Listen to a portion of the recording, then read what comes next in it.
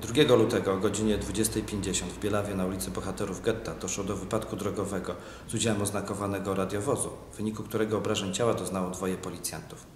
Jak ustaliła na miejscu specjalna grupa operacyjno-dochodzeniowa pod kierownictwem komendanta komisariatu w Bielawie o godzinie 20.45 patrol tego radiowozu został wysłany na pilne zdarzenie do Rościszowa. Według zgłoszenia miał, był tam pożar oraz zagrożenie dla życia i zdrowia ludzi. Policjanci włączali na skrzyżowaniach sygnały świetne i dźwiękowe. Kiedy wyjechali na ulicę Bohaterów Getta, ze względu na późną porę, brak skrzyżowań, które mieli przejeżdżać oraz mały ruch, włączyli sygnały świetne i dźwiękowe.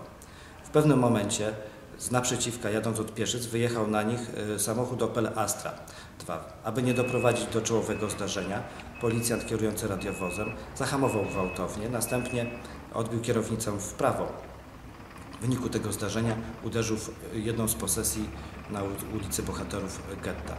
Natomiast kierujący samochodem Opel Astra nie zatrzymał się, nie udzielił policjantom pomocy i odjechał z tego miejsca zdarzenia. W wyniku tego wypadku obrażeń ciała doznali 27-letni policjant ze 6-letnim stażem w postaci obrażeń głowy oraz ogólnych potłuczeń, 28-letnia policjantka z 6-miesięcznym stażem doznała zwichnięcia barku oraz ogólnych potłuczeń. Oboje zostali hospitalizowani.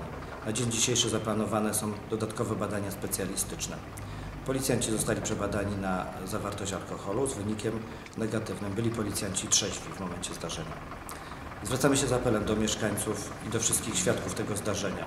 Prosimy również osoby, które jechały bezpośrednio za poszukiwanym przez nas Oplem Astra, najprawdopodobniej koloru bordowego, bądź posiadają inne informacje z innych źródeł, o pilny kontakt osobisty bądź telefoniczny z policją w Dzierżoniowie bądź w Bielawie. Jeśli osoby takie pragną zachować anonimowość, zapewniamy dyskrecję.